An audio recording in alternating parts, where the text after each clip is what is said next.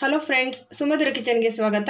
ಇವತ್ತು ನಾನು ತುಂಬ ಸುಲಭವಾಗಿ ಗೋಧಿ ಹಿಟ್ಟಿನಿಂದ ಗೋಧಿ ಮಸಾಲ ದೋಸೆ ಹೇಗೆ ಮಾಡೋದು ಅಂತ ತೋರಿಸ್ಕೊಡ್ತಾ ಇದ್ದೀನಿ. ತುಂಬಾ ಚೆನ್ನಾಗಿರುತ್ತೆ ಕ್ರಿಸ್ಪಿಯಾಗಿ ಬರುತ್ತೆ. ಹಾಗೆ ಇದಕ್ಕೆ ಏನೆಲ್ಲ ಇಂಗ್ರೀಡಿಯೆಂಟ್ಸ್ ಬೇಕು ಅಂತ ನೋಡೋಣ. ಮೊದಲಿಗೆ ಒಂದು ಕಪ್ನಷ್ಟು ಗೋಧಿ ಹಿಟ್ಟು ತಗೋಬೇಕು. ಹಾಗೆ ಅಡುಗೆ ಸೋಡಾ ನೋಡಿ ಒಂದು ಎರಡರಿಂದ ಮೂರು ಪಿಂಚಷ್ಟು ತೊಗೊಂಡಿದ್ದೀನಿ. ಸ್ವಲ್ಪ ತೊಗೊಂಡ್ರೆ ಸಾಕು. ಹಾಗೆ ರುಚಿಗೆ ತಕ್ಕಷ್ಟು ಉಪ್ಪು. ಈಗ ಮಾಡೋ ವಿಧಾನ ಹೇಗೆ ಅಂತ ನೋಡೋಣ. ಮೊದಲಿಗೆ ಒಂದು ಪಾತ್ರೆ ತಗೊಂಡು ಈ ಗೋಧಿ ಹಿಟ್ಟನ್ನು ಹಾಕ್ಕೊಳ್ಬೇಕು. ಇದನ್ನು ನಾವು ಈ ಹಿಟ್ಟನ್ನು ನಾವು ಗಂಟಿಲ್ದಂತೆ ಕಲಿಸ್ಕೊಳ್ಬೇಕು. ಅದಕ್ಕೆ ಮುಂಚೆ ನೋಡಿ ರುಚಿಗೆ ತಕ್ಕಷ್ಟು ಉಪ್ಪು ಹಾಕ್ಕೊಂಡು ಕಲಿಸ್ಕೊಳ್ಳೋಣ. ಇದು ಕನ್ಸಿಸ್ಟೆನ್ಸಿ ಸ್ವಲ್ಪ ನೀರಾಗಿ ಬರುತ್ತೆ. ಅದರಿಂದ ನಾನು ಸ್ವಲ್ಪ ಜಾಸ್ತಿನೇ ಉಪ್ಪು ಹಾಕಿದ್ದೀನಿ. ಈಗ ನೋಡಿ ಕೈಯಲ್ಲೇ ಕಲಿಸ್ಕೊಳ್ಬೇಕು ಇದನ್ನು. ಸ್ವಲ್ಪ ಸ್ವಲ್ಪನೇ ನೀರು ಹಾಕ್ಕೊಂಡು ಗಂಟಿಲ್ದಂತೆ ಕಲಿಸ್ಕೊಳ್ಳೋಣ. ಮೊದಲು ಹಿಟ್ಟನ್ನು ಸ್ವಲ್ಪ ಗಟ್ಟಿಯಾಗಿ ಕಲಿಸ್ಕೊಳ್ಬೇಕು. ಆ ನಂತರ ನಾವು ಜಾಸ್ತಿ ನೀರು ಹಾಕಿದ್ರೆ ಸ್ವಲ್ಪನೂ ಗಂಟಿಲ್ದಂತೆ ಹದವಾಗಿ ಬರುತ್ತೆ. ನೋಡಿ, ಇಷ್ಟು ಗಟ್ಟಿಯಾಗಿ ಕಲಿಸ್ಕೊಂಡ ನಂತರ ನಾವೀಗ ನೀರು ಹಾಕ್ಕೊಂಡು ನಮಗೆ ಎಷ್ಟು ನೀರಿನ ಕನ್ಸಿಸ್ಟೆನ್ಸಿ ಬೇಕೋ ಅಷ್ಟು ನೀರು ಹಾಕ್ಕೊಂಡು ಕಲಿಸ್ಕೋಬೇಕು. ಅಂದರೆ ದೋಸೆ ಹಿಟ್ಟಿನ ಹದಕ್ಕಿಂತ ಇನ್ನು ಸ್ವಲ್ಪ ನೀರಾಗಿರಬೇಕು. ಈ ರೀತಿ ಕಲಿಸ್ಕೊಳ್ಳೋದ್ರಿಂದ ಹಿಟ್ಟು ಗಂಟಾಗೋದಿಲ್ಲ, ಹದವಾಗಿ ಚೆನ್ನಾಗಿ ಬರುತ್ತೆ. ನೋಡಿ, ಈ ರೀತಿ ಚೆನ್ನಾಗಿ ಕಲಿಸ್ಕೋಬೇಕು. ಕಲಿಸ್ಕೊಳ್ಳೋಣ ಹಿಟ್ಟನ್ನು ಪೂರ್ತಿಯಾಗಿ ಗಂಟಿಲ್ದಂತೆ. ನೋಡಿ ಈ ರೀತಿ ಗಂಟಿಲ್ದಂತೆ ಕಲ್ಸ್ಕೊಂಡಿದ್ದಾಗಿದೆ ಈಗ. ಇದನ್ನು ಒಂದು ಹತ್ತು ನಿಮಿಷ ಇಲ್ಲ ಹದಿನೈದು ನಿಮಿಷದವರೆಗೆ ಬಿಡಬೇಕಾಗುತ್ತೆ. ಸ್ವಲ್ಪ ಏನಾದರೂ ಗಂಟಿದ್ರೆ ನೋಡಿ ನೆನೆದ ನಂತರ ನಾವು ಚೆನ್ನಾಗಿ ಮಿಕ್ಸ್ ಮಾಡಿದ್ರೆ ಆ ಗಂಟೆಲ್ಲ ಹೋಗುತ್ತೆ. ಈಗ ಒಂದು ಹದಿನೈದು ನಿಮಿಷ ಮುಚ್ಚಿಡೋಣ. ಚೆನ್ನಾಗಿ ನೆನೆ ಇಟ್ಟಿದ್ದೆ. ಚೆನ್ನಾಗಿ ನೆಂದಿದೆ. ಈಗ ನಾವು ಚೆನ್ನಾಗಿ ಮಿಕ್ಸ್ ಮಾಡ್ಕೊಳ್ಬೇಕು. ನೋಡಿ ಬೀಟರ್ ಸಹಾಯದಿಂದ ಈ ರೀತಿ ಮಿಕ್ಸ್ ಮಾಡ್ಕೊಳ್ಬೇಕು. ಹಾಗೆ ಸ್ವಲ್ಪ ಮಿಕ್ಸ್ ಮಾಡಿದ ನಂತರ ನೋಡಿ ಈಗ ಅಡುಗೆ ಸೋಡಾ ಹಾಕ್ಕೊಳ್ತಾ ಇದ್ದೀನಿ. ಸ್ವಲ್ಪ ಸ್ವಲ್ಪ ಈಗ ಇದನ್ನು ಚೆನ್ನಾಗಿ ಮಿಕ್ಸ್ ಮಾಡ್ಕೊಳ್ಬೇಕು. ನೋಡಿ ಈ ರೀತಿ ಚೆನ್ನಾಗಿ ಬೀಟ್ ಮಾಡ್ಕೊಳ್ಬೇಕು. ನಾವು ಎಷ್ಟು ಚೆನ್ನಾಗಿ ಬೀಟ್ ಮಾಡ್ಕೊಳ್ತೀವೋ ಅಷ್ಟು ಚೆನ್ನಾಗಿ ದೋಸೆ ಬರುತ್ತೆ. ನೋಡಿ ಈ ರೀತಿ ಚೆನ್ನಾಗಿ ಮಿಕ್ಸ್ ಮಾಡ್ಕೋಬೇಕು ನೋಡಿ ಸ್ವಲ್ಪ ಈ ದೋಸೆ ಬ್ಯಾಟರ್ ಕನ್ಸಿಸ್ಟೆನ್ಸಿ ಗಟ್ಟಿ ಇತ್ತು ಅಂದರೆ ಸ್ವಲ್ಪ ನೀರು ಹಾಕ್ಕೊಂಡು ಮಿಕ್ಸ್ ಮಾಡ್ಕೊಳ್ಳಿ.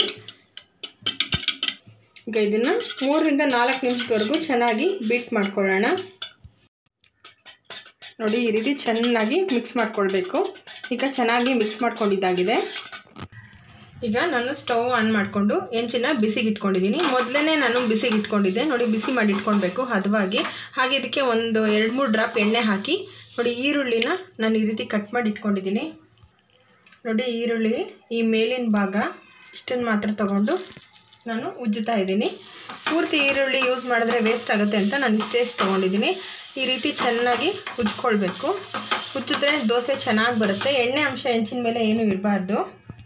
ನೋಡಿ ಸೌಟ್ನಿಂದ ಈ ರೀತಿ ತೊಗೋಬೇಕು. ನೋಡಿ, ನೋಡ್ತಾ ಇದ್ದೀರಲ್ಲ ಕನ್ಸಿಸ್ಟೆನ್ಸಿ ಈ ಈ ರೀತಿ ಇರಬೇಕು. ನೀರಿನ ರೀತಿ ಇರಬೇಕು. ಸ್ವಲ್ಪ ಅಂದರೆ ತುಂಬ ನೀರಲ್ಲ, ದೋಸೆ ಹದಕ್ಕೆ ಇಂಥ ಸ್ವಲ್ಪ ನೀರಾಗಿರಬೇಕು. ಈಗ ದೋಸೆ ಹಾಕ್ಕೊಳ್ಳೋಣ ನೋಡಿ, ನಿಮಗೆ ಎಷ್ಟು ತೆಳು ಬೇಕೋ ಅಷ್ಟು ತೆಳುವಾಗಿ ಸಹ ಹಾಕ್ಕೊಳ್ಬೋದು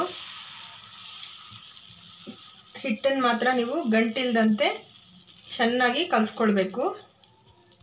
ನಾನು ಸ್ಟವ್ ಆನ್ ಮಾಡಿದಾಗ ಫುಲ್ಲು ಲೋ ಫ್ಲೇಮ್ ಇಟ್ಟಿದ್ದೆ. ಈಗ ನಾನು ಮೀಡಿಯಂ ಫ್ಲೇಮ್ ಇಡ್ತಾ ಇದ್ದೀನಿ.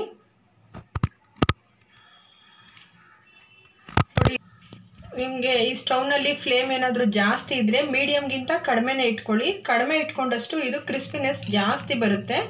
ಆಗ ರೋಸ್ಟ್ ಆಗುತ್ತೆ, ಚೆನ್ನಾಗಿರುತ್ತೆ ತಿನ್ನೋದಕ್ಕೆ. ಈಗ ಸ್ವಲ್ಪ ಎಣ್ಣೆ ಹಾಕ್ಕೊಳ್ತಾ ಇದ್ದೀನಿ. ಎಣ್ಣೆ ಬದಲಾಗಿ ನೀವು ತುಪ್ಪನಾದರೂ ಬಳಸ್ಬೋದು.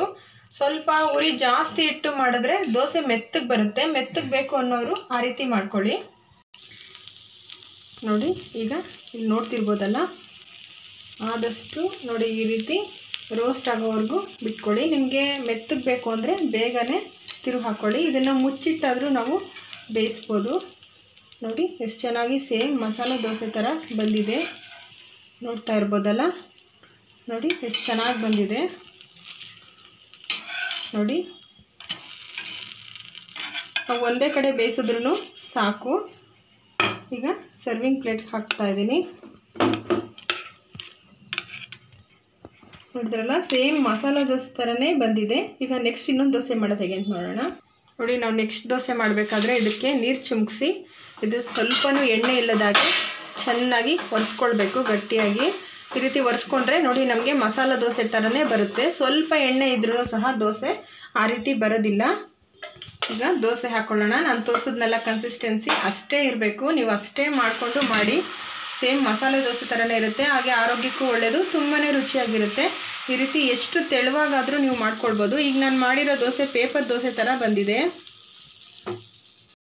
ಈಗ ಇದನ್ನು ನಾನು ಮೀಡಿಯಮ್ ಫ್ಲೇಮ್ ಇಟ್ಟಿದ್ದೀನಿ ಸ್ವಲ್ಪ ಎಣ್ಣೆ ಹಾಕ್ಕೊಳ್ಳೋಣ ನೋಡಿ, ಈ ರೀತಿ ಬಿಡೋದ್ರಿಂದ ಕ್ರಿಸ್ಪಿಯಾಗಿ ಬರುತ್ತೆ. ನಿಮಗೆ ಮೆತ್ತಗೆ ಬೇಕು ಅಂತಂದರೆ ಫುಲ್ಲು ಹೈ ಫ್ಲೇಮ್ ಇಟ್ಟು ಬೇಗ ತಿರುವ ಹಾಕ್ಕೊಳ್ಳಿ ಆಗ ಕ್ರಿಸ್ಪಿಯಾಗಿರಲ್ಲ ವಯಸ್ಸಾದವ್ರಿಗೆ ತಿನ್ನೋದಕ್ಕೆ ತುಂಬ ಮೃದುವಾಗಿರುತ್ತೆ. ಹಾಗೆ ಚಿಕ್ಕ ಮಕ್ಳಿಗೂ ಸಹ ಮೃದುವಾಗಿ ಚೆನ್ನಾಗಿರುತ್ತೆ. ಈಗ ಇದು ಚೆನ್ನಾಗಾಗಿದೆ. ನಾನು ಮುಚ್ಚಿಟ್ಟಿಲ್ಲ ಪ್ಲೇಟ್ ಏನೂ ನೀವು ಪ್ಲೇಟ್ ಬೇಕಾದರೆ ಈ ರೀತಿ ಮುಚ್ಚಿಡ್ಬೋದು. ಮುಚ್ಚಿಟ್ಟು ಮಾಡ್ಬೋದು ಅಥವಾ ಹಾಗೇನೂ ಮಾಡ್ಬೋದು. ಇದನ್ನು ಬೇಕಾದರೆ ನೀವು ತಿರುವಿನೂ ಸಹ ಹಾಕ್ಕೊಳ್ಬೋದು ನೋಡಿ, ನಾವು ಕಡಿಮೆ ಅಂದರೆ ಮೀಡಿಯಮ್ ಫ್ಲೇಮಲ್ಲಿ ನಾವು ಬೇಯಿಸಿರೋದ್ರಿಂದ ಹದವಾಗಿ ಇಲ್ಲೆಲ್ಲ ಚೆನ್ನಾಗಿ ಬೆಂದಿದೆ. ಇನ್ನೊಂದು ದೋಸೆನೂ ಸಹ ರೆಡಿಯಾಗಿದೆ ನೋಡಿ, ಇಷ್ಟು ರೋಸ್ಟ್ ಬೇಕಾದರೂ ಮಾಡ್ಕೊಳ್ಳಿ.